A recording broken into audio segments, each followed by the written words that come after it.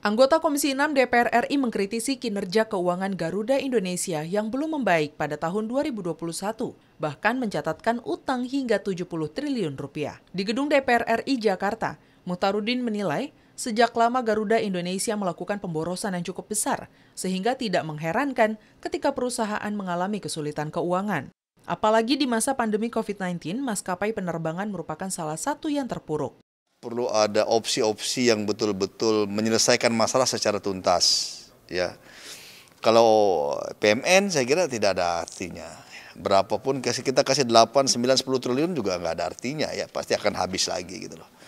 Jadi oleh karena itu memang uh, perlu kami akan bicarakan secara lebih detail nanti dengan Menteri BUMN apa opsi yang terbaik untuk Garuda ini ya salah satu mungkin bisa saja opsi mungkin dibubarkan dipilotkan ya dan kita bikin maskapai baru lebih murah.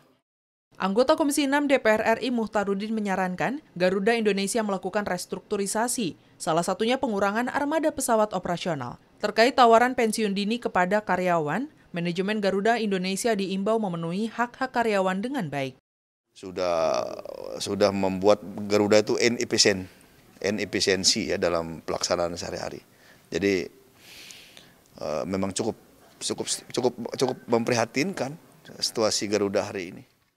Selain tawaran pensiun dini, Garuda Indonesia akan melakukan restrukturisasi usaha dengan mengurangi pesawat yang dioperasikan dari 142 menjadi 70 armada. Andri, TVR Parlemen, melaporkan.